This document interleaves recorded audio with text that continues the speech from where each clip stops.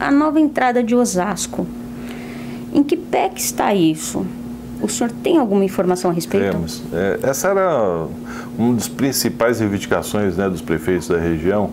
Quando, nós criamos o, o CIOeste, já tinha sido definido na época que a gente ia bater nessa tecla. Né? Toda vez que alguém, algum prefeito da região, estivesse junto com o governo do estado, a gente ia falar que era importante fazer um novo acesso para Osasco, através de um viaduto, e o alargamento, né, depois de Alphaville, que tem aqueles viadutos imensos lá, e que acaba estreitando. E, e esse, essa situação vem já desde né, quase 10 anos isso, e, e ainda não tinha conseguido resolver. Né, nós temos informações seguras né, de que no mês de fevereiro, agora, no máximo no começo de março, o governador vem para assinar o início da obra. Já passou pela Artesp, que é a agência reguladora, tinha uma coisa de acerto do contrato para que a própria a concessão banque a obra, não vai ser o custo não vai ser do governo do estado, e sim da, da concessionária, né? até porque ela precisa criar condições né, de, de, fluxo de veículos. Então isso é um impeditivo ali de, de melhorar né, o, o tráfego na própria rodovia.